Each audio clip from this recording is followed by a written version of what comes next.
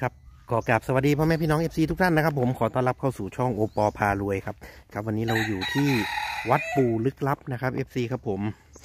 ครับใครที่เข้ามาแล้วอย่าลืมนะครับ ฝากกดไลค์กดแชร์กดติดตามกด Subscribe กดกระดิ่งแจ้งเตือนไว้นะครับ เพื่อเป็นกำลังใจให้กับทางช่องด้วยนะครับ ทางช่องเสนอไว้เป็นเพียงแค่แนวทางเท่านั้นนะครับ ผมโปรดใช้วิจารณญาณในการรับชมนะครับ เดี๋ยวเราก็จะเดินเข้าไปในป่าช้านะครับ เพื่อจะไปเสาะหาแนวทางนะครับ ผมชุดต่องวดนะครับ ของปู่ลึกลับนะครับ ผม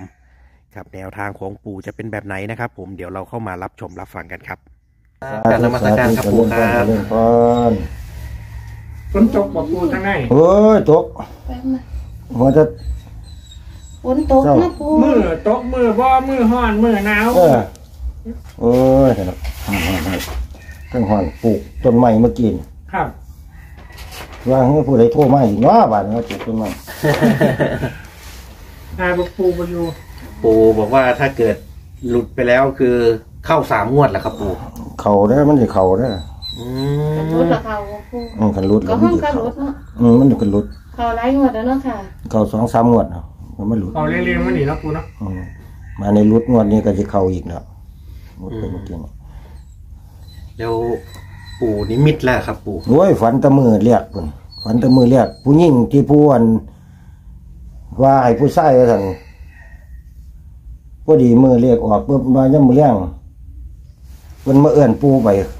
เพราะว่าปูอยู่ในคนเด้ครับ ครับเขาเจ้าคือคืออยู่ช่องส่วนนั้นเออมวนกบผู้หญิงเลยมาเอื้อนเอื้อนไปเฮียน อืมผู้หญิงมาเอิญเออ ผู้ชายผู้ชายอันผู้เพิ่นบอกกันบ่ถือกันครัเพิ่บ นยืนคำอยู่บ่ปากผู้หญิงผู้หญิงเลยหายให้อันผู้ชายครับบ้านนี้บ่ต้องบอกเด้อบ้านนี้ว่าซั่นบ่ต้องเว้าว่าซั่น อืมเพิ่นศูนย์ว่าซั่นอยู่ข้างเบาผู้หญิงผู้หญิงศูนย์ให้ผู้ชายครับอ่าโอ้ ตอนต้องงวดงวดก่อนหั่นผู้หญิงบ่เว้ากันบ่ครับที่ผม ผู้เว้าทุกครั้งน่ะ ครับ มีแต่ผู้ชายบอกบ้านนี้หั่นบอกกันบ่บ่ถึกครับครับจะได้เป็นมันยิ่งมาบอกว่าไม่ต้องเบาเลยวันนี้เออบ่ต้องเว้าเลยอืมบ่ต้องนั่นผู้ชายก็ยืนคำจับไม้ไผยืนอยู่ครับ อยู่เทึงเฮียนแหม เออเอิ้นปู่ขึ้นมาผู้หญิงขึ้นมาเทึงเฮียนเพ่ว่าซั่นบ่เคยขึ้นที่เฮียนว่าซั่นบอกปู่ขึ้นไปเทึงเฮียน ผู้หญิงเนี่ยครับอ่าโอ้โหขึ้นไปก็ศูนย์ผู้ชายก็ยืนจับมันไม้ไผอยู่ครับหันไปทางผู้ชายก็ด่าผู้ชายอืมศูนย์ให้บัดรุ่นบ่ต้องเว้าได้อบ้านนี้ว่าซั่นอืมบ้านนี้มื้อคืนนี่ก็สินั่นครับครับถือขันดอกไม้ออกมามานั่งอยู่นี่ครับค่ะ มาขอขอเขามาขอโทษปู่ว่าซั่นอืมผู้ชายผมครับ ผู้ชายอืมนั่งก้มหน้ากูสู้อยู่โอ้กูเลยว่าไสล่ะเฮียนอยู่ไสล่ะเงยหน้าขึ้นซี่ไปทางพุ่นสิไม่ต้องเบาซี่ไปทางในป่าเพราะว่านั่งอยู่นี่เด้ครับผมซี่ไปถึงอยู่ทางในพุ่นในป่าช้าเลยนะครับเออปู่แต่ว่าหันก้มหน้า เอ้ยว่าดันว่าอีหยังแล้วว่าซั่นถือขันดอกไม้มาไหมครับขันดอกไม้มาว่าอันขอโทษปู่ว่าซั่น อืมขันห้าแหละครับปู่อ่าขันหาขันห้าเออจานม่วนๆความนี้โอ้เอาเจ็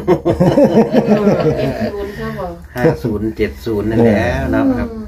ถือขันหามากอ่าขันหามามาขอขมาปูอย่ามาขอกันมาขอโทษว่าบอกเรียกว่าถือแจ็คแล้วว่ามาขอโทษกันขอเข้ามาโอ้มาขอขมาปูวันนี้ถามว่าปูถามว่าบ้านนี้ได้ใช้อยู่เออบ้านอยู่ไสว่าซั่นซี่เข้าไปในป่าพุ่นเนาะ ประตู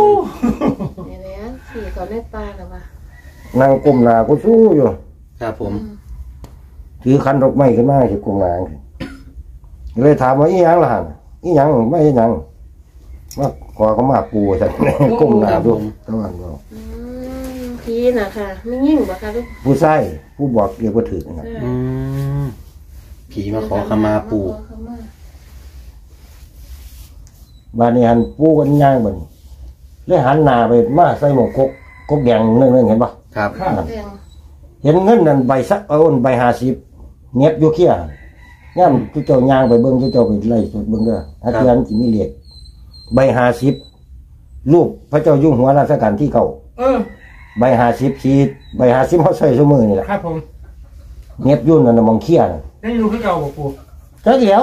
ใบห้าสิบไหมแต่ว่าในฝันนะในฝันในความฝันนะครับในนิมิต จะทำไปเห็นเห็นตัวเลขเนาะเออฮะเจ้าเห็นตัวเลขอันนี้ไปสร้างเบิ้งตรงไหนครับปู่นี่มงกกจิกอันกกแดงงอนๆเห็นปะมงพ่นอะโอ้ตรงโพนเนี่ยครับ เอออืมคือปู่ฝันว่ามีแบงค์ห้าสิบไปเสียบไว้ เออมีมีผู้ผู้ใส่หันล่ะผู้อ่อนมาขอขมาล่ะ ครับมามาขอขมาผู้ว่าท่านอืมมาในผู้ก็เลยเลี้ยวไปทางพุ่นเลี้ยวไปทางพุ่นประเด็นแบ่งหาสิบ เน็บอยู่กกกิกน่ะกกกิกหนึ่งเดี๋ยวเราต้องไปดูด้วยเออเอาอะไรก็ไปเบิ่งเอาเพราะว่าผู้ว่าท่านได้เบิ่งดอกครับ แม่นกบยิกที่ให้เด็กที่ดีบ่แม่นนั่นกกแดงงอนๆน่ะอืมที่ให้เรียกถึกตลอดนั่นที่ว่าผีไปนั่งเอาบนต้นไม้นี่นั่งนั่งต้นไหนครับปู่ฮะที่ปู่เคยเล่าให้ฟังนะครับ ต้นไม้ผีแม่ลูกอะครับ นี่แหละต้นนี้แหละต้นนี้แหละครับ นี่แหละต้นนี้แหละที่ว่าไปนั่งอยู่บนต้นไม้เนี่ยครับอ่านี่โอ้ต้นนี้ต้นแดงงอนๆเนี่ย ของพ่นเนี่ยครับไปที่เบิ่งแม่ลูกอืมไปเบิ่งที่ว่าอยากเลี้ยงมา ไปเบิ่งไปเบิ่งเลยแต่ว่าลูกเขาก็สิใหญ่แล้วเขาบ่ได้เลี้ยงดอกติอืมอ่านบ้านี่ครับบ่ทันได้เอาแป้งใส่หูมันอยู่น่ะมันบาดนะมาแล้วสองพันสัตว์ไปลงเก้าสองล่างกูเนาะเอโอ้ยเงิดคือกันเลยครับผม นี่สินั่นนี่หมาไปเลยคนเข้าไปทั้งในเลยมึงเอ้ยคือเป็นเลขตารางนะครับ ปู่อืม ครับเราก็จะมาดูเลขตารางปู่แล้วก็เลขความฝันนะครับเดี๋ยวความฝันมีเม็ดเดียวนะครับ ถ้าถ้าถ้าเกิดความฝันปู่จะตีเป็นตัวไหนครับผมจะตีนี่ได้ตีมันน่ะห้าศูนย์เจ็ดกับอันสี่นี้เจ็ดเพิ่นบอกเลยดิผู้หญิงบอกเลยบอกบอกว่ายังไงครับปู่อืมบอกเป็นตัวเลยเหรอครับ เออหาศูนย์เจ็ดนี่เลยครับคือรอบนี้ผู้ชายไม่บอกแล้ว ผู้ชายมาบอก ผู้ชายนี่ถูกด่า ถือดาบอกถือผู้หญิงดาเราบ่ต้องเว้าวัดรุ่นว่าซั่น ครับบ้านนี้บ่ต้องบอกได้อว่าซั่นบ่ต้องเว้าผู้หญิงก็เลยบอกเองแหละครับ ปู่อืมบอกเลยพอดีบอกแล้วก็หันหลังเขานี่เฮียนเลยด่าผู้ชายบอกบอกบอกเป็นตัวเลขเลยครับเดี๋ปู่ยวบอกเป็นตัวเลขนี่ว่างวดนี้ห้าศูนย์เจ็ดอย่างเงี้ยแหละครับอืมโอ้ย อืมแล้วแล้วสี่เจ็ดนี่มาจากไหนครับปู่สิเก็ดนี่ล่ะสิเฮ็ดให้เบิ่งอยู่นี่ล่ะอ๋อเป็นสูตรตาราง เออสูตรเลขตารางนี่ล่ะอืมันสิมี4คู่ครับผม คือรอบนี้ปู่จะจับคู่ให้ด้วยอืมนะครับ มาเดี๋ยวรอจับคู่นะฮะครับผม คือรอบนี้มีทั้งเลขนิมิตฝันมีทั้งสูตรตารางนะครับ อืม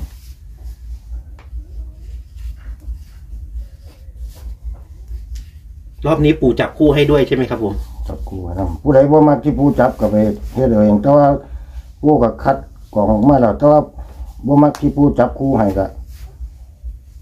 ก็ไปจับเอาเองอืม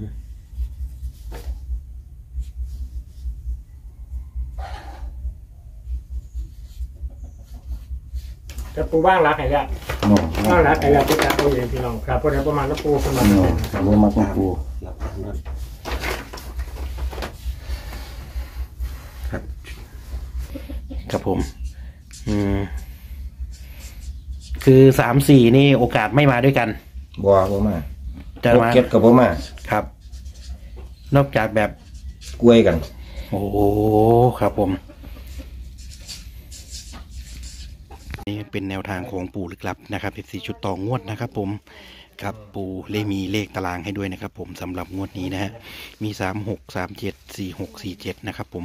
ส่วนความฝันนี่ก็คือ507กับ47นะครับพ่อแม่พี่น้องครับผมยังไงก็ให้พ่อแม่พี่น้องลองพิจารณาดูนะครับ ทางช่องเสนอไว้เป็นเพียงแค่แนวทางเท่านั้นนะครับ ผมโปรดใช้วิจารณญาณในการรับชมนะครับ ผม